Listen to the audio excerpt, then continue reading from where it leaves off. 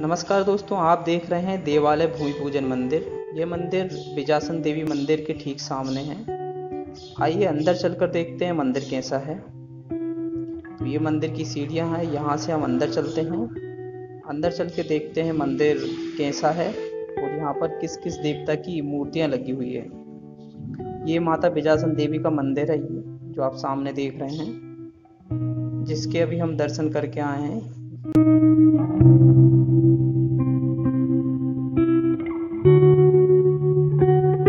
अब हम अंदर की ओर चलकर देखते हैं कि यह मंदिर अंदर से कैसा है और किस किस देवता की यहाँ पर मूर्ति रखी है।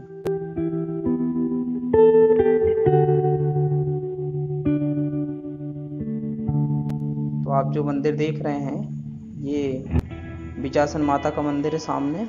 जहाँ हम अभी दर्शन करके आए हैं, ये वही बिजासन देवी मंदिर है।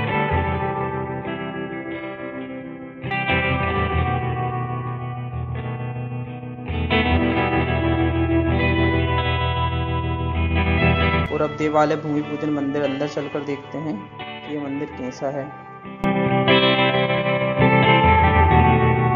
यहाँ पर सबसे पहले जो मूर्ति लगी है, द्वारपाल की मूर्ति लगी है।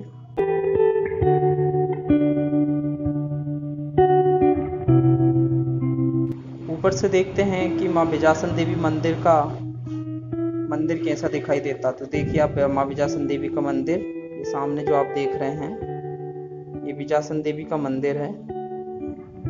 यही है वो खूबसूरत मंदिर जिसमें अभी हम दर्शन कर कर आए हैं। आप देख सकते हैं, ऊपर से भी और बाहर से भी कितना सुंदर ये मंदिर दिखाई पड़ रहा है। और काफ़ी भीड़ है आज, काफ़ी श्रद्धालु लोग आए हैं यहाँ पर, माँ बिजासन देवी के दर्शन करने के लिए। ये खोखली माता है। इसके बाद गणेश जी की मूर्ति है। फिर द्वारपाल महाराज हैं। और अब हम द्वारपाल महाराज के दर्शन के बाद बाहर की ओर चलते हैं। सामने आप देख रहे हैं, ये बिजासन देवी का मंदिर है।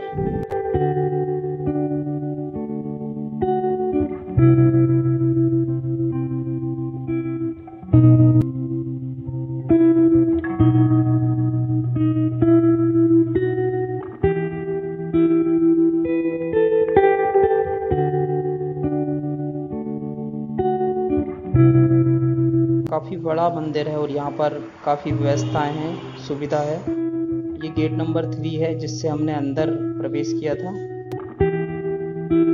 और अब हम चलते हैं सीढ़ी मार्ग, जहाँ सीढ़ियों से लोग पैदल चढ़कर आते हैं। यह सीढ़ी मार्ग है।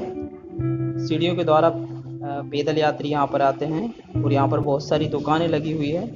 इन दुकानों पर फूल, माला, प्रसाद और बाकी चीज़ मिलती है।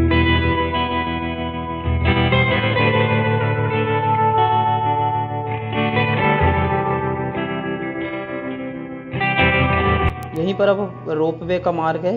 ये जो रास्ता जा रहा है, ये रोपवे का मार्ग है। यहाँ से हम रोपवे के द्वारा नीचे जा सकते हैं और ऊपर आ सकते हैं। Thanks for watching